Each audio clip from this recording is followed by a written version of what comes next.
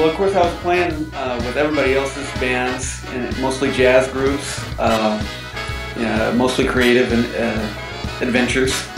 And I had my own bands. I had a small group. I had a trio that I called the Junk Wagon Trio, which was bass drums and trumpet and EVI with me.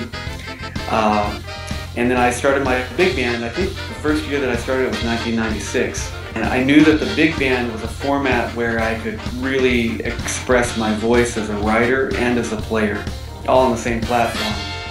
And I could really uh, control the music that I heard because as chaotic as any improvisational uh, sections could get, I could always have the structure of the writing to bring us back. We always knew the landmark of, uh, of where we were going to get back to, no matter how crazy the, the improvisation got. So I like that idea of having chaos and structure within the same platform. Yeah, it's all, all uh, original stuff that I wrote.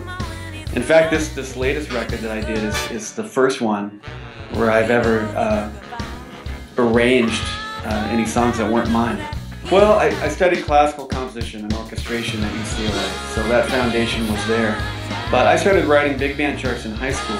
Uh, not necessarily with any tutelage, I, I, just started writing and you put it in front of the band and, and uh, you listen back to it and, and say, oh, that didn't work, and, and uh, trial and error.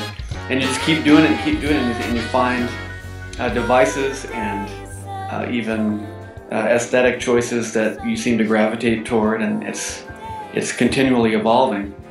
But yeah, it's more trial and error and asking questions. You know, I have so many wonderful mentors in my life that I could ask questions to.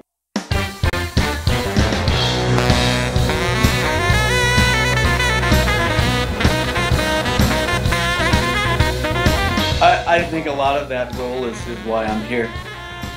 Uh, I think that uh, for whatever reason, uh, I'm always put in those positions. You know, I remember I, I was voted uh, president of the first and second grade, you know, and they told me that, okay, let's do it. Uh, it was never anything that I sought, but it always seems to be something that happens. And uh, so I think there's some value that I can bring to those to that role. It's it's uh, you know it's, it's you're, you're the the source of inspiration and and uh, and I like being able to bring people together for for something that's much larger than any individual. So I love that aspect of it, uh, musically, but also in a, in a spiritual way, and, and, and, even on a friendship level, uh, and and to know that you're you're putting out all those those good vibrations uh, and inspiring people to to do their own thing too. That that's such a such an incredible feeling. I love that part.